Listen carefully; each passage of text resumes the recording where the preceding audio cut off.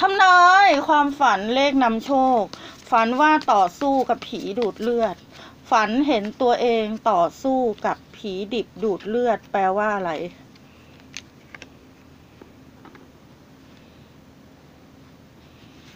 อาจจะดูหนังแวมไพร์ทวายไลท์มาก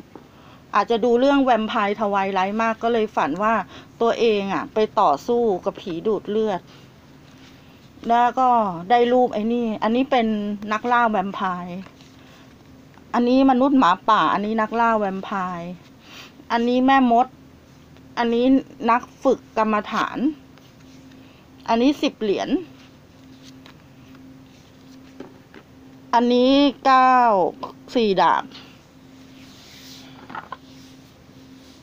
ฝันว่าต่อสู้กับแวมไพร์เนี่ยนะ ท่านกำลังจะได้รับมรดกที่รอคอยมานาน หลังจากรอคอยมานาน หลังจากหลังจากการรอคอยมานานอะ ท่านจะได้รับเงินก้อนโตได้รับมรดก ช่วงนี้มีคนน่ะ จ้องอิจฉาริษยาท่าน ท่านจะถูกกันแกล้ง เป็นช่วงที่ถูกศัตรูปองร้ายนะ ฝันลักษณะแบบนี้แปลว่า จะมีศัตรูอะปองร้าย ช่วงเนี้ย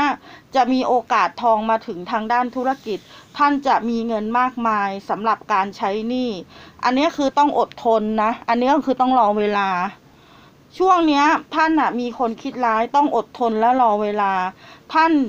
มีโอกาสนะ ที่จะได้เรียนต่อในระดับที่สูงขึ้น ท่านมีดวงที่จะได้เรียนต่อในระดับที่สูงขึ้น ศัตรูจะพ่ายแพ้แก่คุณค่ะ ตอนนี้มีคนคิดร้ายท่านน่ะ แต่ศัตรูอะจะพ่ายแพ้แก่คุณ เพราะว่าคุณรวยกว่า คุณฉลาดกว่า ท่านมีศัตรูคิดร้าย มีคนณเวลาเนี้ย ตอนเนี้ยท่านมีศัตรูเล่นงาย ท่านมีคนคิดร้าย มีคนจ้องเล่นงาน มีศัตรูคิดร้ายมีคนจ้องเล่นงานนะคะณเวลาเนี้ยตอนเนี้ยมีคนคิดร้ายมีศัตรูจ้องเล่นงาน ภายในระยะเวลาสองถึงสามวันเนี่ย ภายในระยะเวลาสองถึงสามวันเนี่ย ท่านไม่ควรไปยุ่งกับเรื่องของคนอื่น เพราะจะเดือดร้อนไพ่เตือนว่าเนี่ยให้นอนเฉยๆ ให้อยู่กับบ้านเนี่ยให้อยู่กับบ้านเนี่ยนั่งสมาธิให้อยู่กับบ้านนั่งสมาธิอ่านหนังสือไป อย่าออกไปไหน